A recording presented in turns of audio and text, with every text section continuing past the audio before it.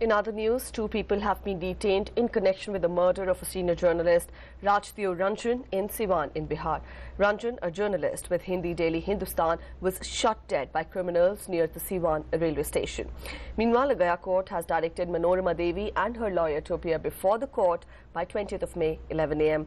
Manorama Devi is the mother of Rocky Yadav, who allegedly killed a youth in Gaya last week. A report.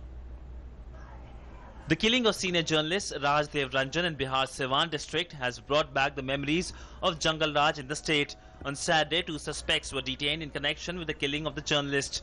A forensic team from Patna has reached Siwan to take over the investigations. Senior journalist and bureau chief of leading Hindi daily Hindustan was shot dead in Siwan on Friday evening. Rajdeo Ranjan was returning home on his two-wheeler around 8 pm when some unidentified miscreants fired at him.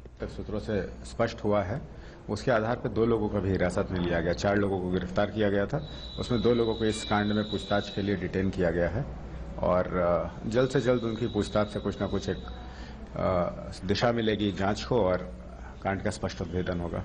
Information and broadcasting minister Arun Jaitley strongly condemn the murder of two journalist in Bihar and Jharkhand and demanded an independent investigation in the case In a tweet, he said that I strongly condemn the murder of journalists Rajdeo Ranjan in Siwan and Akhilesh Pratap Singh in Chatra district and independent investigation may be instituted and guilty be punished. Meanwhile, hitting out at the Nitish Kumar-led government in Bihar, BJP leader Sushil Kumar Modi said Bihar is degrading back to old days of Jungle Raj. He also met the family members of the slain journalist. Entire Bihar opposition has condemned the incident in one voice. एक journalist और वो भी bureau chief, और उसकी क्या कहते हैं कि हत्या हो जाती है। ये कौन राज है? हम लोग तो पहले कहते थे कि जंगल राज जंगल राज टू जंगल राज टू आ गया। एक तो हत्यारी सरकार है। नीतीश कुमार जी जवाब दें। क्या बड़ी संख्या में वरिष्ठ पत्रकार एक बड़े समाचार पत्र के सेफ़ नहीं हो रहे हैं? सिवान का एक और भी अतीत है।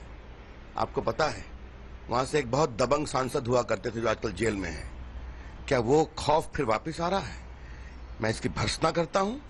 मैं उम्मीद करूँगा नीतीश कुमार जी सख्त कार्रवाई करेंगे। Ruling JDU has come out with standard reply हमारी सरकार जो भी इस हत्या में अभियुक्त हैं, उनको गिरफ़्तार करके उनके विरुद्ध सख्त कार्रवाई करे India journalist union and Bihar working journalist union condemn the murder of the senior scribe Ranjan The killing of journalist comes just days after killing of Aditya Sachdev, the 19-year-old boy who was killed by Rocky Yadav, who is the son of JDU MLC Manorama Devi.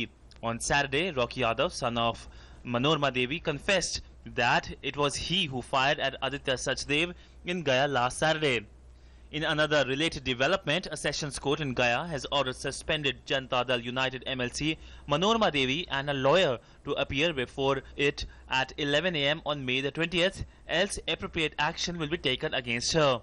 Acting tough on absconding legislator, the court clearly mentioned that they are not going to give any extension to the leader and will see that the rule of law remains intact in the state. With inputs from Kumar Alok, Bureau Report, DD News.